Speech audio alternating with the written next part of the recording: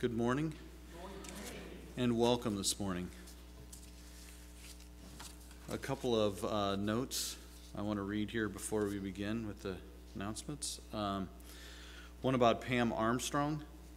Um, Pam Armstrong was moved to Heritage Health on Friday in Hoopeston for rehab and therapy. And after that, um, once she progresses even more, then she'll be allowed to go back home. So please continue to pray for her improvement. Also, I have a note uh, I picked up this morning from Aldine. It says, "I would like to, I would like to express my heartfelt thanks to you, my church family, for all the cards, visits, phone calls, food, and especially the help you gave. um, Excuse me, especially the help you gave me each day. Most of all, the prayers. Thank you.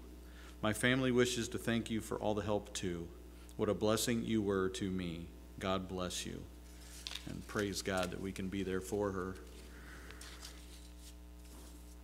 The congregational meeting will be held Monday, February 1st. I don't think you realize how hard it is for me not to say congressional meeting. That's, so, yes, our, our annual meeting will be held Monday um, at 7 p.m. on the 1st. The ladies' Bible study will resume Wednesday, February 3rd at 9 a.m., and that is here at the church in the basement. Evening service will begin again Sunday, February 7th, 6 p.m., here at the church. And just a reminder Silas left several books for us to use and for our benefit. Um, they are located downstairs in the classroom right by the entrance to the lift. Um, please take advantage of that. If there's anything that you might um, want to look into or curious about, I'm sure there is a book that is on that subject or at least adjacent to that subject. He has quite a collection. Are there any other praises or? There'll be a short mission board meeting in the basement right after church. Okay, uh, mission board people, you're on call right after church in the basement. There's a short meeting. Charlie?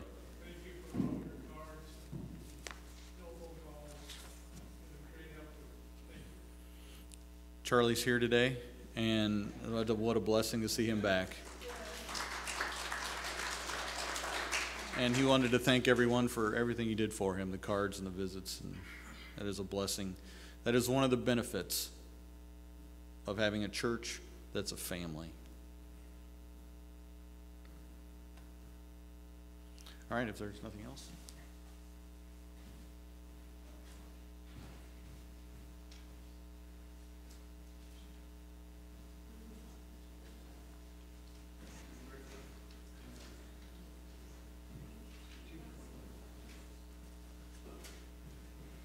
Good morning. Let's begin this morning with hymn number 224, My Savior's Love. And let's do verses 1, 2, 4, and 5.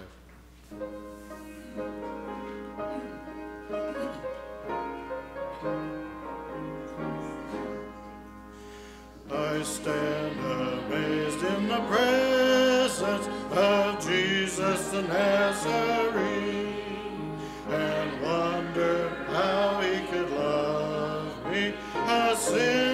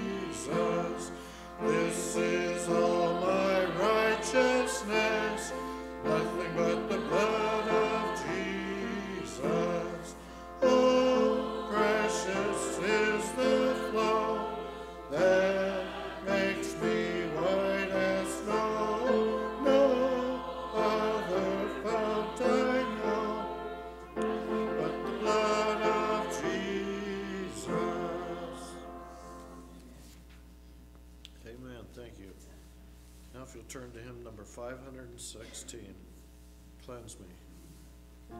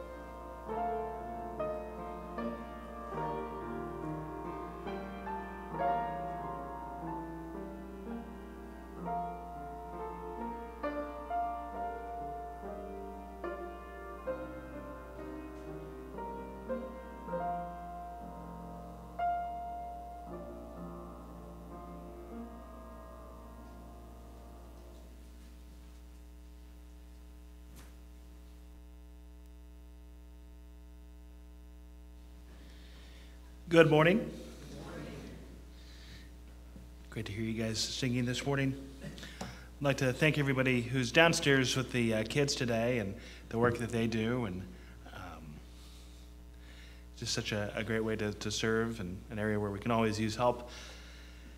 Carrie is back in the, it's not really a booth, I guess, but back in the uh, sound area with Eric today. And much cuter than looking at Doug.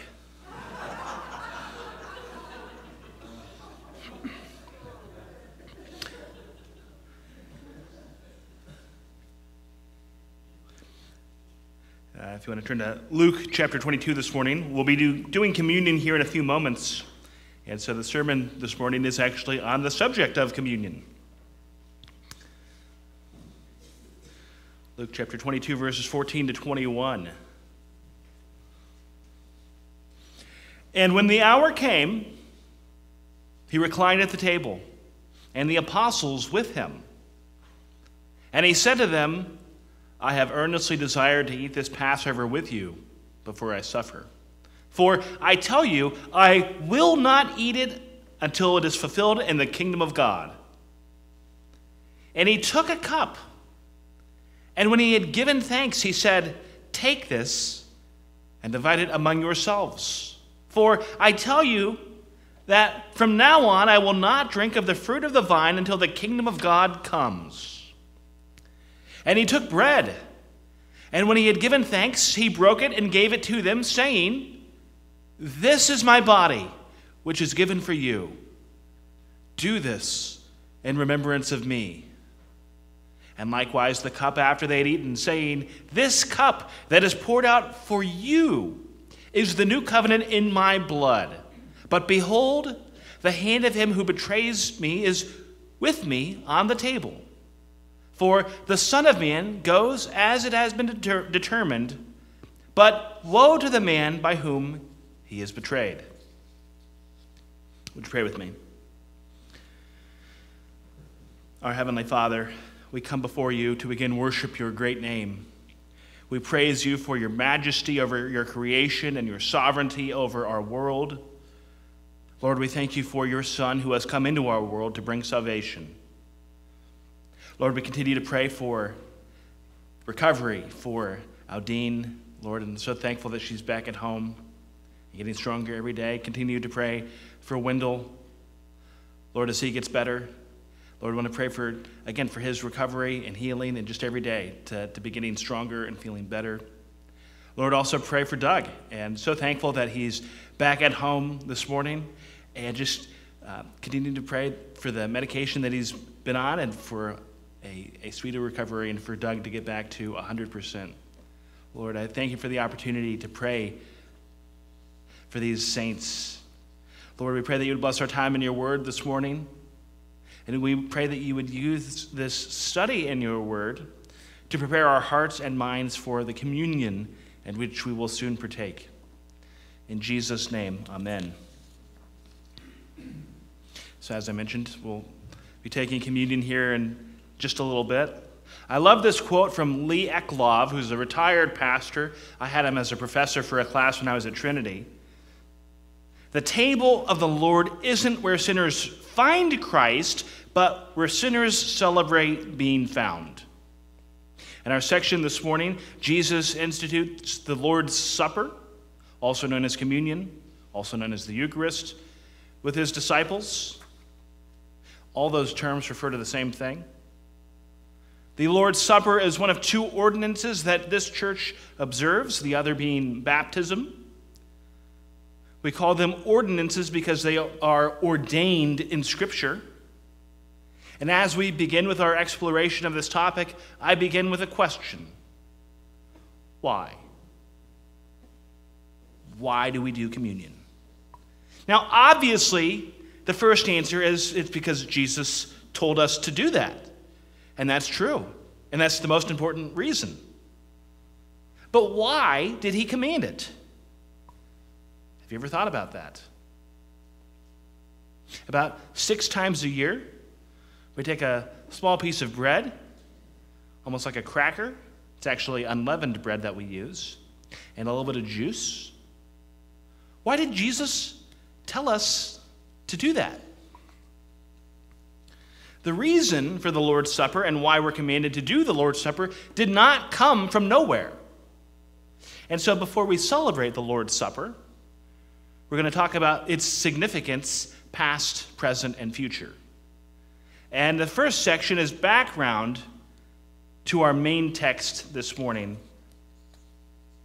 And the Old Testament and the book of Exodus, the Israelites had been enslaved by the Egyptians. Pharaoh would not release the Israelites, and God struck Egypt with a series of plagues water turned to blood locusts, hail, darkness.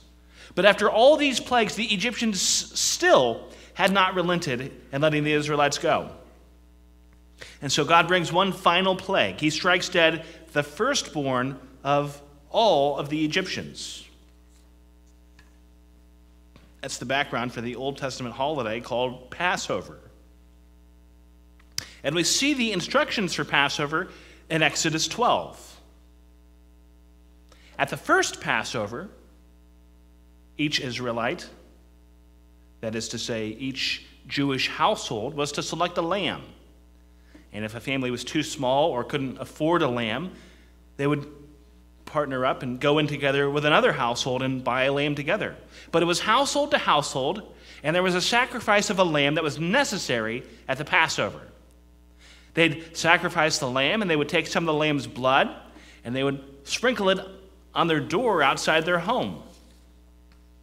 This was an act of faith, trusting the deliverance that would come from the Lord that he had promised.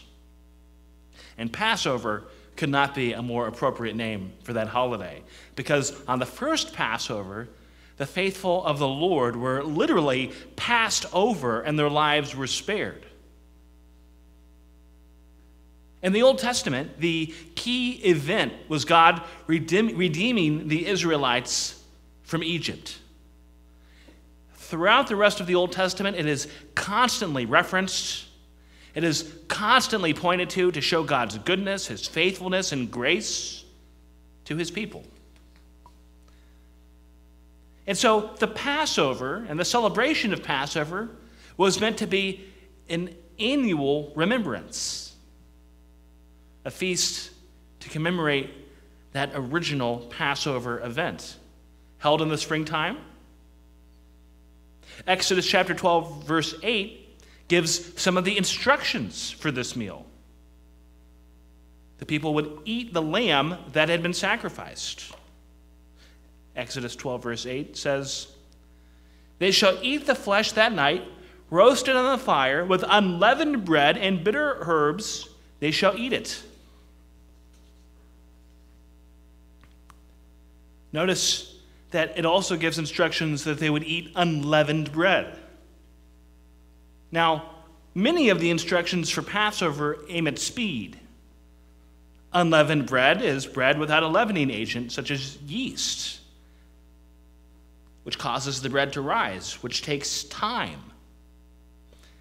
And so, to make the bread in the fastest way possible, they used unleavened bread, which again is a reminder of the haste with which the Israelites had to flee from Egypt.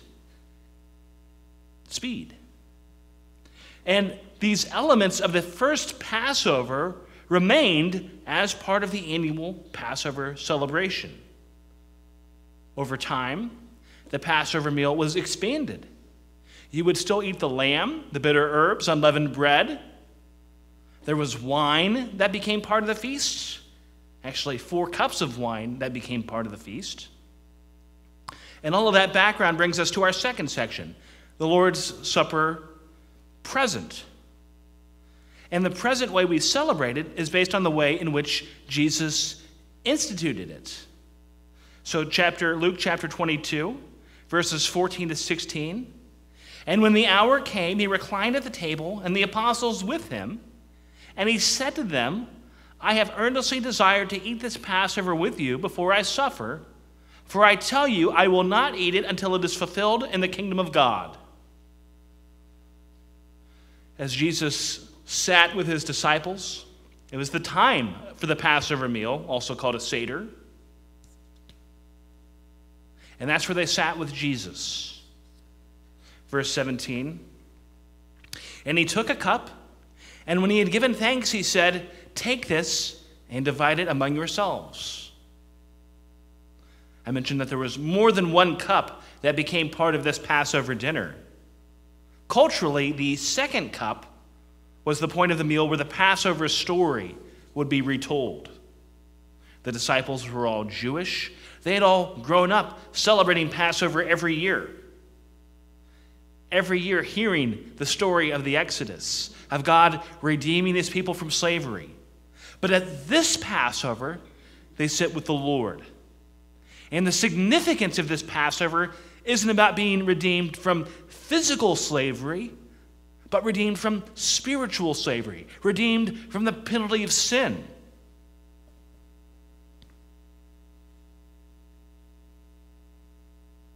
It's interesting that it was not part of the tradition for everyone to share the same cup at the Seder, but that's what Jesus does. And in doing that, he stresses solidarity and unity. And so the disciples pass the cup around. Jesus, at this point, has still yet to institute the Lord's Supper. This cup is before that. And this part of the story is only recorded in Luke's gospel. In verse 19, here we come to Jesus giving the words of institution. And he took bread. And when he had given thanks, he broke it and gave it to them, saying, This is my body, which is given for you. Do this in remembrance of me. Again, it's the Passover Seder, all about remembering what God has done for his people. And Jesus takes that familiar unleavened bread and he breaks it. Unleavened bread is brittle. It's not like a loaf of bread where you can pull it apart or tear it apart, it cracks when you break it. This is my body, which is given for you.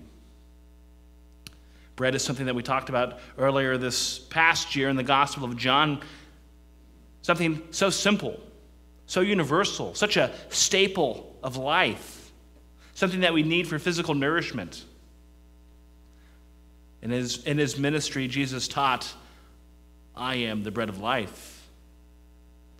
Verse 20 and likewise, the cup after they'd eaten, saying, This cup that is poured out for you is the new covenant in my blood.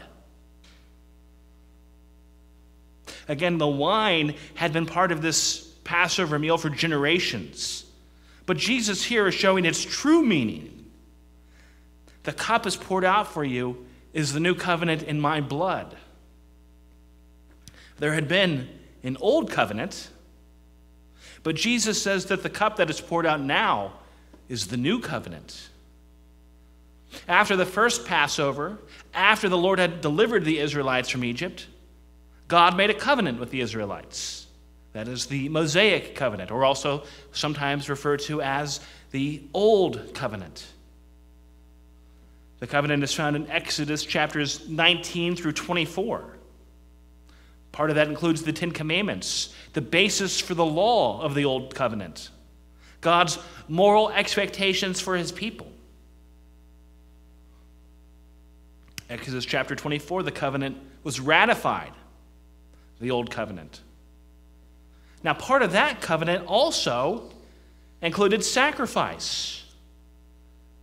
And in Exodus chapter 24, we see the sacrifice, but I want to focus on what's done with the blood in that chapter. Exodus chapter 24, verse 6. And Moses took half of the blood and put it in basins, and half of the blood he threw against the altar.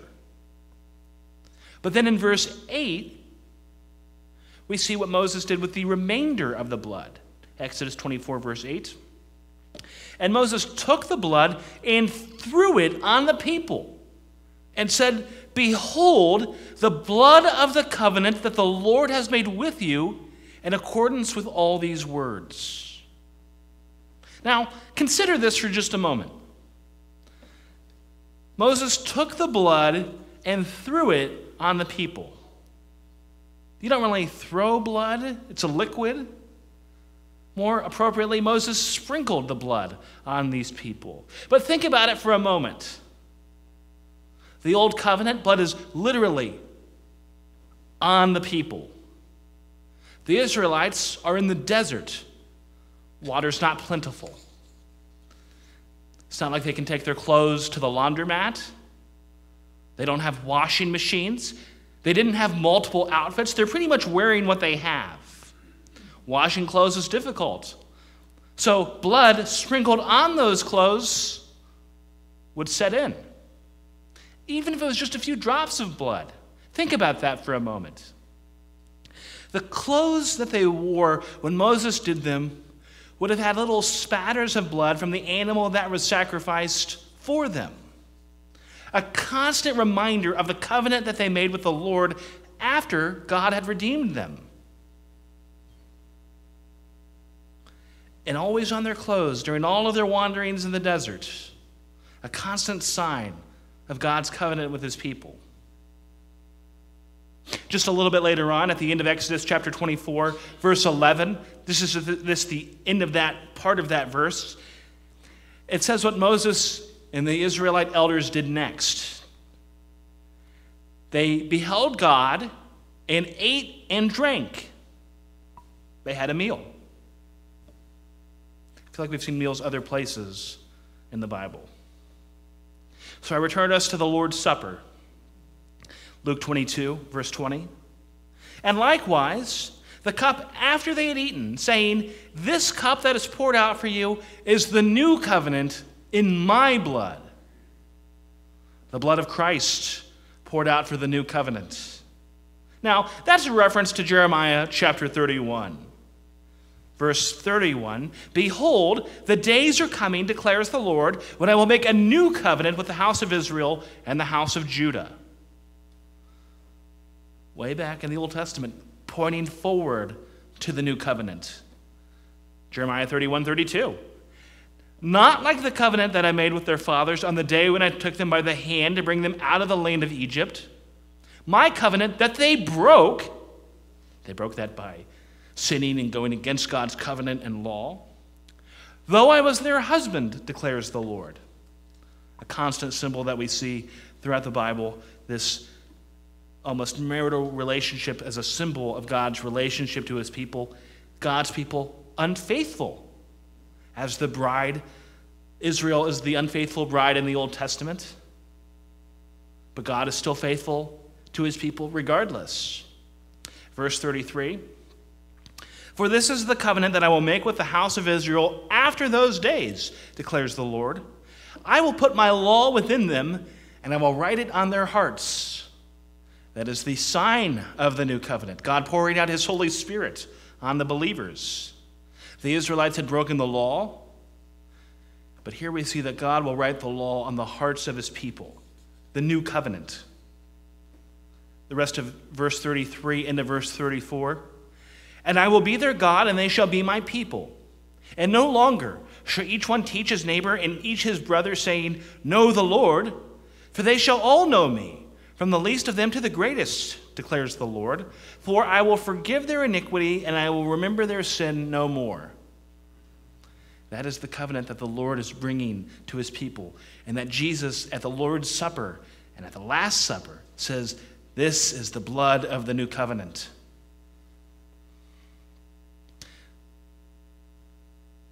The Mosaic covenant revolved around land and keeping the law in order to maintain the land.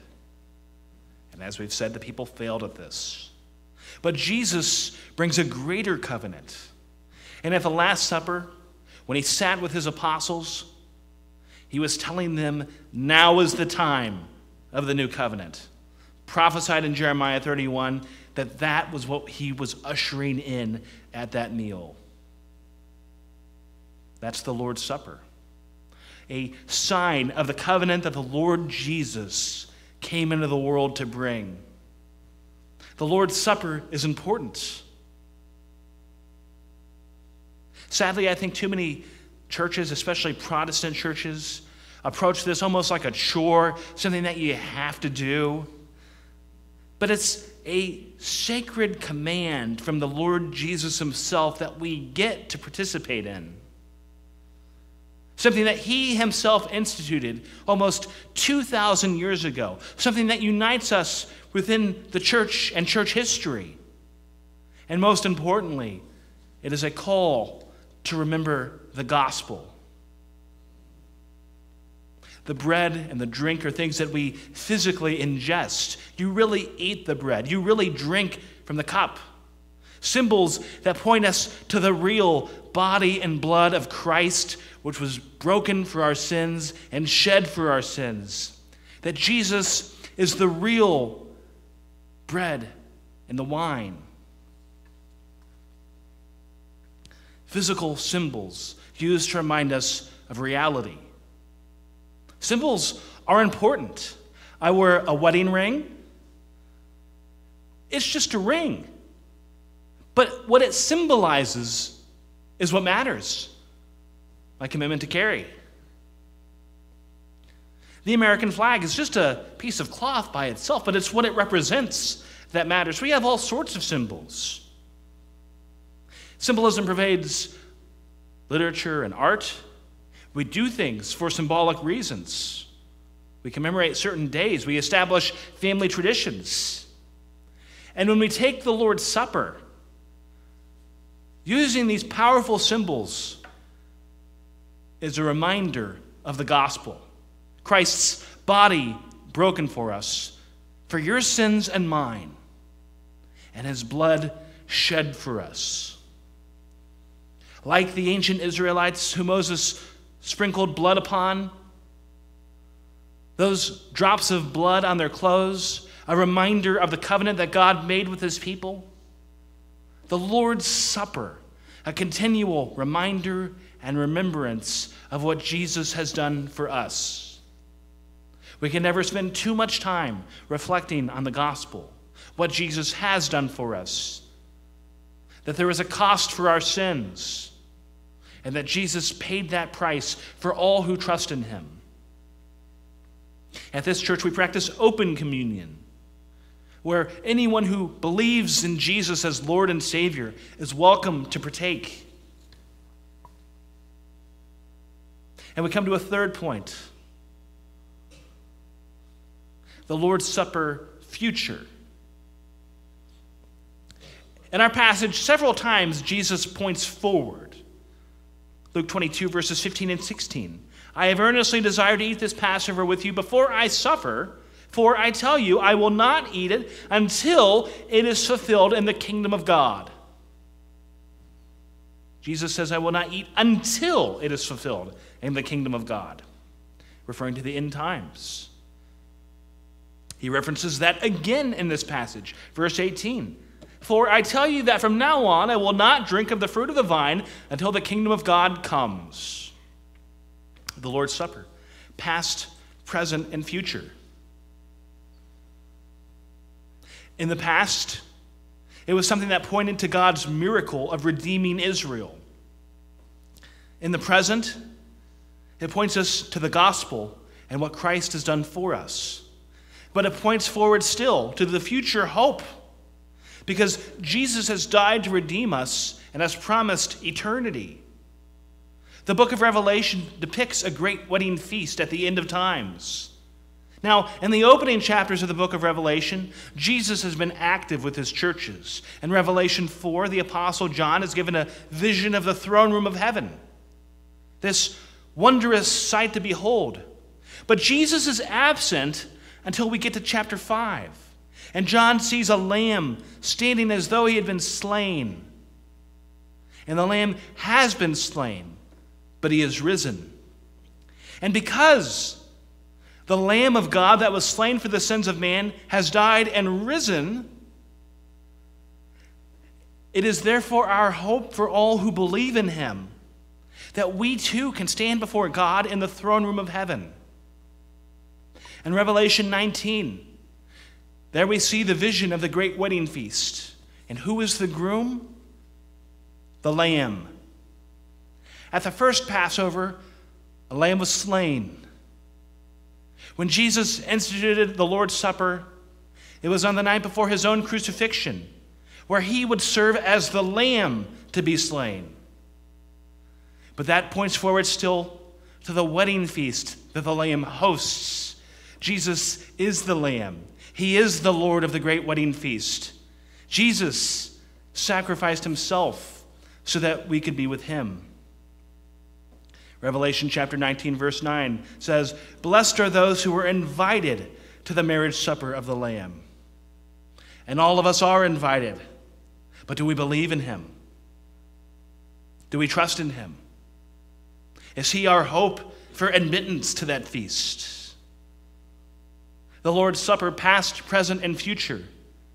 It's interesting to think about the Passover feast. That was something done with your family. Jesus institutes the Lord's Supper, and that's something to be done with your church family.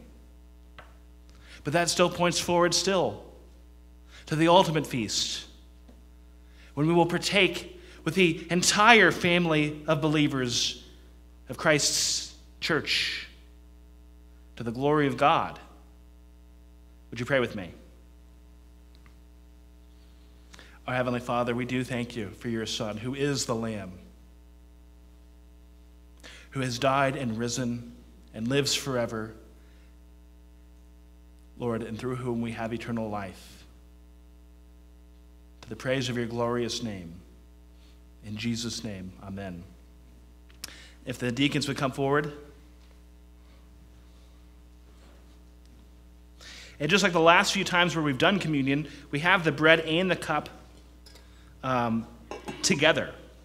So when you pull it up, you'll pull two cups up, and at the bottom is where the bread is. And just a reminder, we'll do the bread together as I read the passage, and then we'll do the cup together.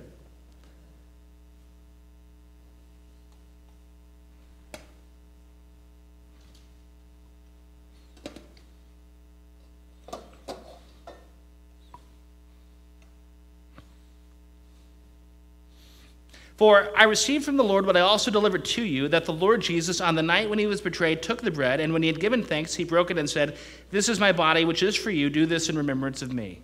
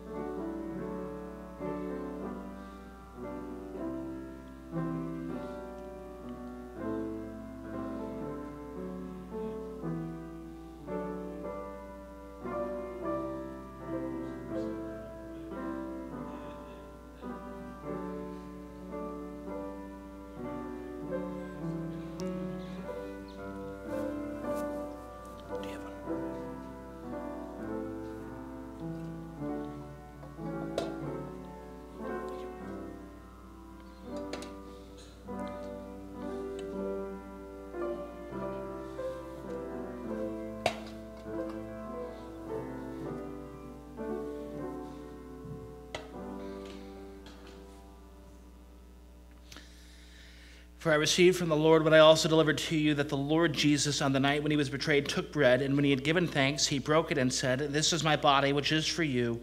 Do this in remembrance of me.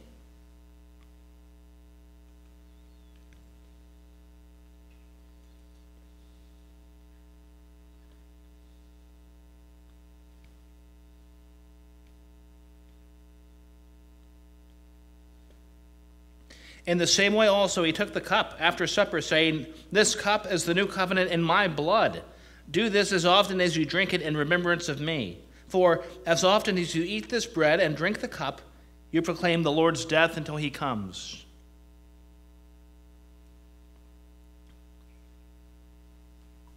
Would you pray with me? Our Heavenly Father, we do proclaim the Lord's death until he comes again.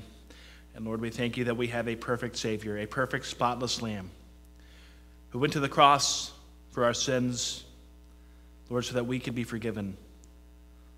Lord, but let us not lose sight of our sins. That without Christ, separate us from, and alienate us from you. And let us praise you for the glorious grace that he extends to all who believe and trust in him as Lord and Savior. In Jesus' name, amen.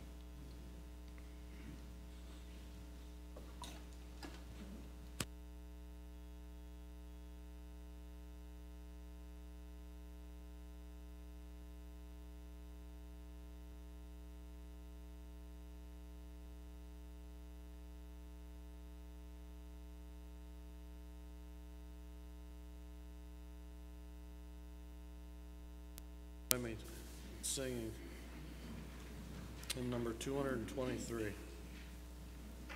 Oh, how he loves you and me.